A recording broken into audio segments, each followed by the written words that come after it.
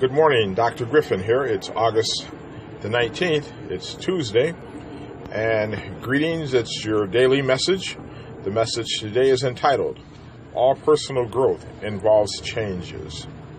Personal growth is the process of responding positively to change.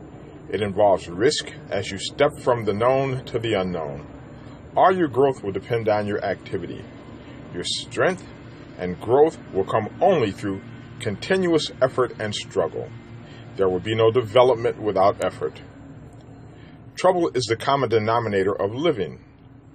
It is the great equalizer of life. Your trials, your sorrows, and your griefs will develop you. When good or bad fortune comes your way, you must give it meaning and transform it into something of value. What happens to you is not as important as to your reaction to what is happening. Remember, success starts with you, and I will see you at the top. Peace and have a great day until tomorrow. Here's Dr. Griffin with our daily message.